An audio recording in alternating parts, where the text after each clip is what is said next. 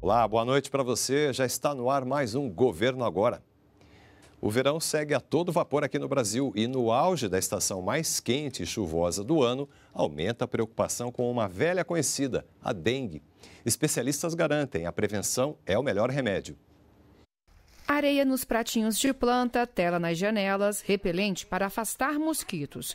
Precauções que a Cida sempre tomou, o que não impediu que ela pegasse dengue e ficasse quatro dias internada por conta da doença no ano passado. Seu corpo fica terrível. É dor no corpo, dor de cabeça. Você não, tem que beber líquido, mas você não consegue beber porque você passa mal, seu estômago dá náusea.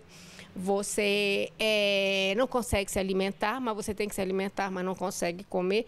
E seu corpo vai ficando debilitado. É aquela coisa, a Cida toma todos os cuidados na casa dela para evitar que o Aedes aegypti, o mosquito transmissor da dengue, não consiga se criar aqui. Mas se o vizinho não toma os mesmos cuidados, toda a comunidade continua correndo risco de ter dengue. Só no ano passado foram quase 970 mil casos de dengue no país.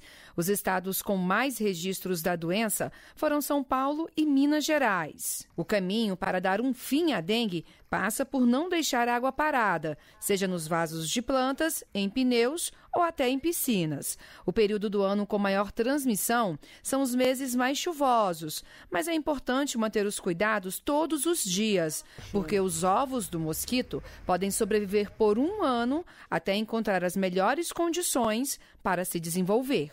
Se juntar todo mundo fazendo um trabalho de formiguinha, a gente combate isso, sabe? A prevenção é tudo, gente. É isso mesmo. E por falar em saúde, o governo federal disponibiliza todas as informações sobre o novo coronavírus pela internet.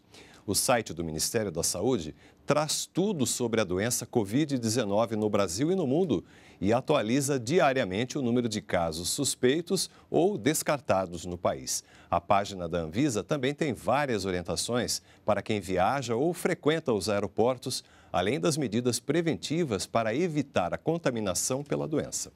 Vale lembrar que o Brasil teve o primeiro caso confirmado do Covid-19 em São Paulo de um passageiro que chegou do norte da Itália na última sexta-feira. Em janeiro, a aplicação no Tesouro Direto ultrapassou a marca de 415 mil operações e mais de 2 bilhões de reais investidos nesta modalidade.